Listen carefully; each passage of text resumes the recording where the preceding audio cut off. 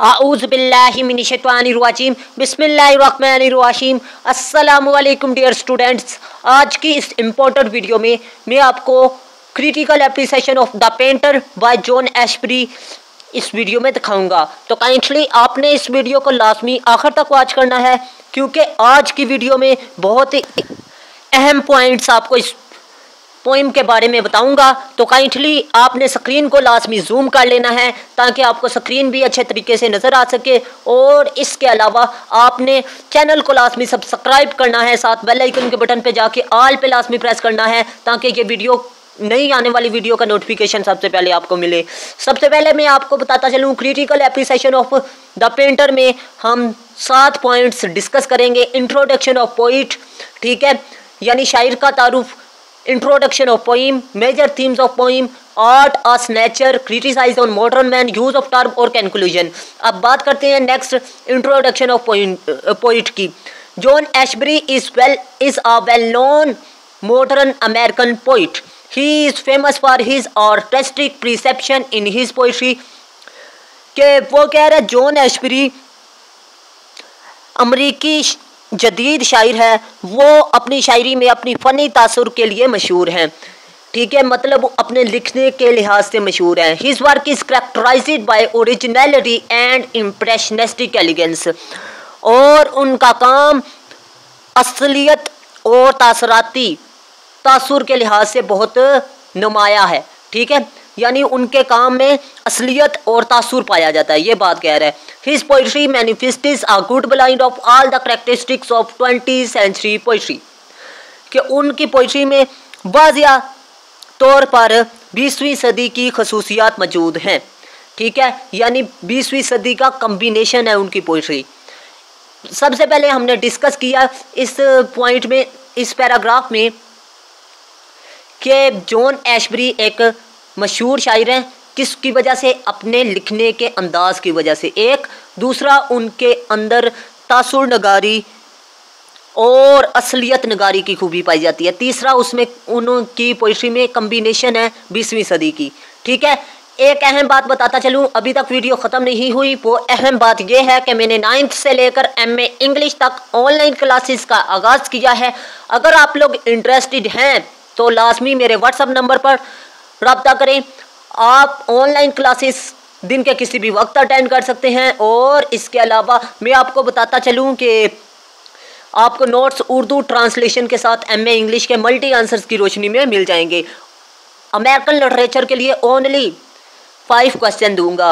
Multi आपका paper clear हो जाएगा। नेक्स्ट है जी the painter is a remarkable poem of Ashbery the painter जो है, ये रिमार्केबल आला पोइम है। एशबरी की तरफ़ से, ठीक है? It is written in solecistic with colloquial diction के ये बोलचाल के साथ हकीकत पसंदानी, पसंदाना अंदाज में लिखी गई। It is a highly thought thought provoking and marvellous poem और ये एक ये एक इंतहाई फ़िक्र अंगेज और हैरत अंगेज पोइम है। The very title of the poem is suggestive poem का जो सा अनवान है, वो बहुत ही ज़्यादा दिलकश है। आगे है जी it shows a painter with all moods ideas behaviour reactions and thoughts ये एक मसवर को इसके तमाम तरीक़ों ख्याल रवैये रद्द अमल और ख्याल के साथ दिखाता है। नेक्स्ट है जी main theme In this poem, the poet highlights two major themes. One, limitation in, in, in the inverse that every desire of man cannot be fulfilled. इस नज़म में शायर ने दो बड़े मौजूद पर रोशनी डाली कायनात में किसी की महदूदियत के हर इंसान की ख्वाहिश पूरी नहीं हो सकती लेकिन फिर भी इंसान ख्वाहिशी मंद है और दूसरा है जी secondly the poet wants artistic perfection of his painting और दूसरी ख्वाहिश जो सी इंसान की है जी बात यह है कि शायर अपनी मसवरी का फ़नी कमाल चाहता है। He wishes to portray beauty और वो खूबसूरती की तस्वीर कशी करना चाहता है। खूबसूरती को बयान कर चा, करना चाहता है। He desire to depict the soul and spirit of the सोई सी वो समुंदर की रूह और रूह की अक्सी करना चाहता है। मतलब वो समुंदर की खूबसूरती को बयान करना चाहता है तस्वीर में। मतलब खूबसूरती को वो बयान नहीं कर कर सकता, जिस तरह अल्फाज में। ठीक है?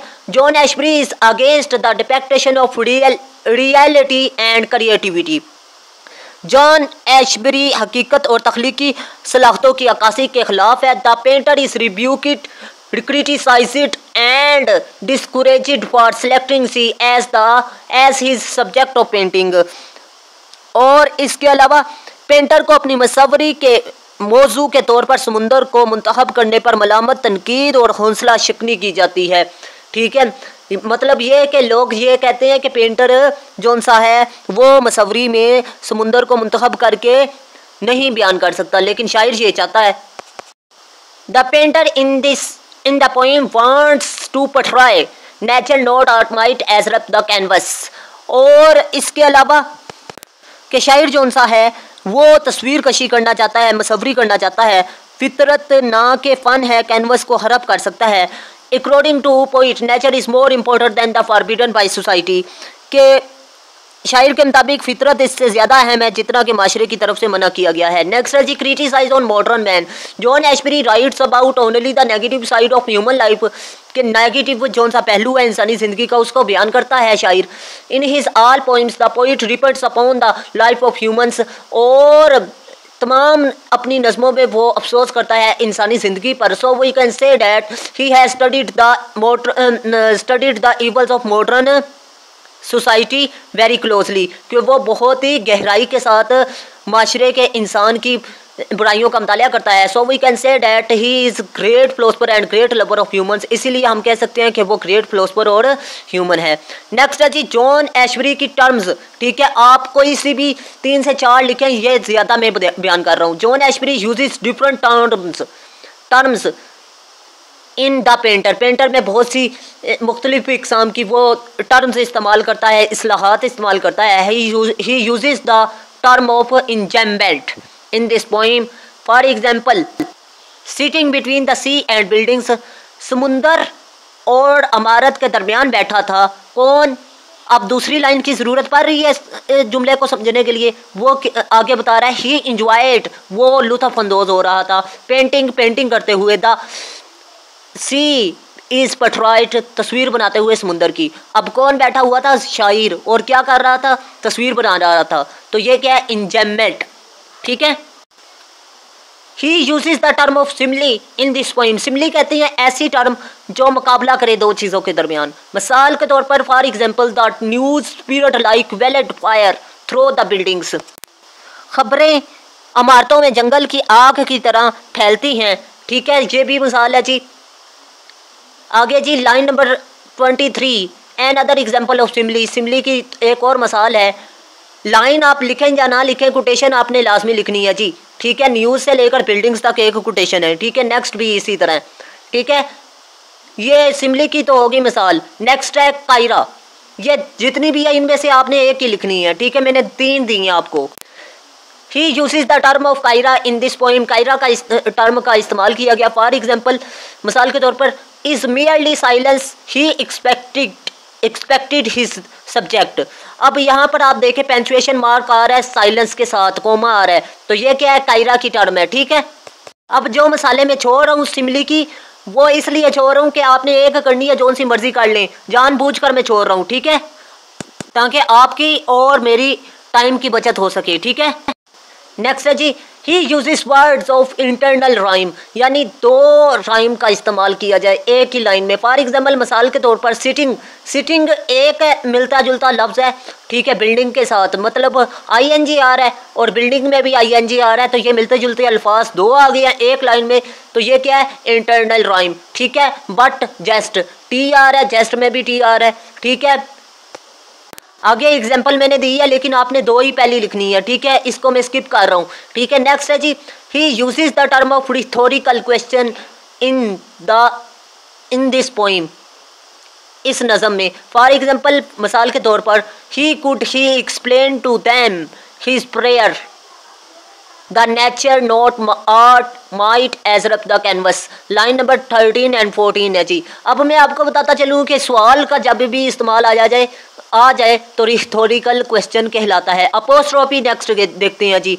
जब शायर किसी भी बंदे से मुखातिब हो, ठीक है पोइम के अंदर तो उसे अपोस्ट्रॉफी कहते हैं। जैसे कि he use the term of apostrophe in this poem इस नज़म में। For example my soul when I paid the next the this next patriot मतलब मेरी जान जब मैं ये अगली तस्वीर भरूँगा या बनाऊँगा, ठीक है, अब शायर किसी से मुखातिब है। ठीक है तो इसका मतलब क्या है? ये अपोस्ट्रोफी की टर्म है, ठीक है? नेक्स्ट है जी, एक और तारीफ़ बताता चलूँ रिथोरिकल क्वेश्चन की, कि ऐसा सवाल जिसमें शायर को जवाब तो मालूम हो, लेकिन फिर भी वो सवाल करे तो वो रिथोरिकल टर्म भी कहलाती है, ठीक है? नेक्स्ट है जी he use the words of oxymoron in this poem for example the malicious mirth we have not a prayer line number twenty eight मतलब ये है इस टर्म का कि दो अल्फाज लगते तो एक लाइन में मुख्तलिफ़ है, लेकिन उनके मीनिंग सेम होते हैं, वो एग्जिब्रोन की टर्म कहलाती है।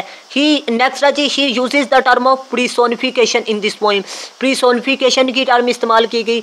Is merely silence he expected his subject to brush up the sand and seizing a brush plastered its own portrait on the canvas line number four और सिक्स में है जी। इनमें से कोई भी कोटेशन आपने इस्तेमाल करनी है सारी नहीं लिखनी। ठीक है जो आपको इजी लगती है वो आपने लिखनी है। लेकिन चार से पाँच होनी चाहिए ज़्यादा नहीं होनी चाहिए। यानी बेजान चीज़ों को जानदार चीज़ों के साथ मिलाना प्रीसोनिफिकेशन कहलाता है। ठीक है? और इस स्टैंडे में शायर जा, बेजान चीज़ों को जानदार के साथ मिलाता है। नेक्स्ट है जी एलिट्रेशन एलिट्रेशन की ये जितनी भी मसाले दिए हैं, ये आपने कोई सी दो लिखनी है, ठीक है? एलिट्रेशन का मतलब होता है ऐसी टर्म जो एक लाइन में सेम अल्फाज से शुरू हो। मतलब जैसे कि आप दे सकते हैं जी लाइन नंबर वन में है जी सिटिंग एस से शुरू हो रहा है और सी लाइन नंबर एक में ही है बिटवीन बी से शुरू हो रहा है बिल्डिंग भी बी से शुरू हो रहा है। लाइन नंबर टू में पेंटिंग पोर्ट्रेट ठीक है साइलेंस सब्जेक्ट एस एस से शुरू हो रहा है लाइन नंबर फोर में। ये आपने कोई सी दो लिखनी है। आप एंड पे जाते हैं। So in the end of dictation we can say that these terms and words makes his poetry very remarkable इसकी पोइट्री को बहुत ही आला बनाते हैं ये ये टर्म्स ठीक है? नेक्स्ट है जी calculation in the end of the dictation we can say that his description of the poem is very realistic इसकी जो सी पोइम की डिक्टेशन है, बहस है, वो बहुत ही रिमार्केबल है। ठीक है, वो हकीकत पसंद आना है बल्कि रिमार्केबल नहीं। So we can say that his dictation is very remarkable इसीलिए हम कह सकते हैं कि इसकी बहस जो सी है, वो आला है। In short John Ashbery is a well known modern poet कि वो मशहूर, जदीद शायर है। He is very much innovative वो नई बात करने वाला है। He has studied human life very deeply वो इंसानी ज़िंदगी का बगौर मताल करता है। Ashbery is a great modern poet और ये ग्रेट मॉडर्न पोइट है। His work is Ashbery is a great modern poet, ये लाइन आप कट कर दें, ये अगेन आ गई है, ठीक है? His work is mainly devoted to the problem of human life और उसका जो सा काम है, वो उसने अपना काम वक़ कर दिया इंसानी मसाइल के लिए। So Samuel Butler stated his point of view skillfully in this line इसीलिए समयूल बटलर बटलर बहुत ही हुनरमंदी के साथ कहता है every man is work is always a portrait of himself कि हर इंसान का जो सा काम होता है, वो उसकी करदार की अक्सी करता है। तो मैं उम्मीद करता हूँ, आपको अच्छे तरीके से ये सवाल समझ में आ चुका होगा। अगर सवाल समझ आ गया तो काइंडली आपने वीडियो को लाजमी लाइक करना है। अगर एक भी पॉइंट आपको अच्छा लगा तो वीडियो को लाजमी लाइक बनता है। क्योंकि बहुत ही मेहनत से आपके लिए वीडियो बनाता हूँ। उम्मीद है आप लोग लाजमी सपोर्ट करेंगे। अल्लाह हाफिज़, पाकिस्तान जिंदाबाद।